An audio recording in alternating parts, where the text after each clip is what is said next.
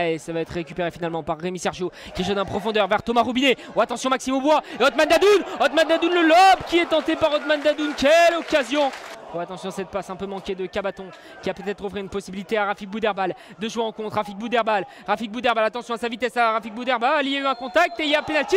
Il y a penalty. L'ancien buteur de Bourg-en-Bresse, lui qui joue défenseur gauche face à Alexis Sauvage. Pierre Charles, Sauvage et c'est pour Jordan Pierre Charles qui ouvre le score pour l'AS Lyon du Cher même si Alexis Sauvage était dessus. C'est Jordan Pierre-Charles qui vient ouvrir le score pour l'AS euh, Lyon du Cher et ça fait donc 1 à 0 pour l'AS Lyon du Cher. Et ça a offert à Bouderbal l'occasion d'aller se présenter face à Alexis Sauvage. Allez, Rémi Sergio pour euh, ce coup franc.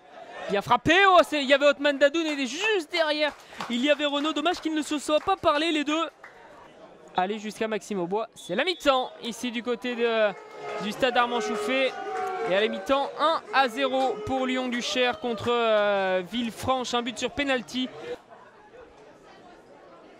Fléjo qui peut euh, jouer maintenant avec euh, Toflieb. Oh, le ballon de Toflieb s'est finalement dégagé par Mustapha Beyalsal. Pas pour longtemps. Toflieb qui peut jouer vers Otman Dadoun. Face au but Otman Dadoun, il est redoutable. La frappe Oh, ça passe juste à côté. Quelle occasion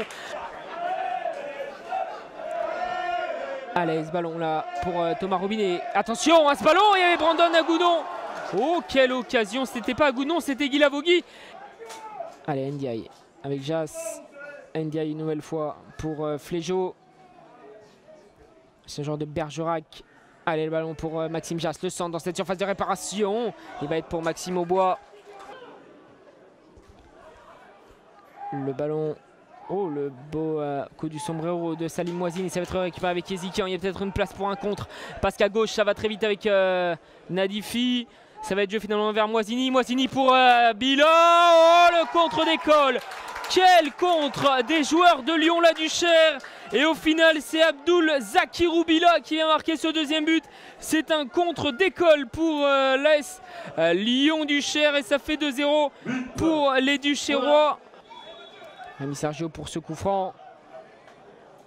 Second poteau, c'est sorti et c'est terminé. Lyon la Duchère remporte ce derby rhodanien 2 buts à 0. Un but de Jordan Pierre-Charles et un but de euh, Bila.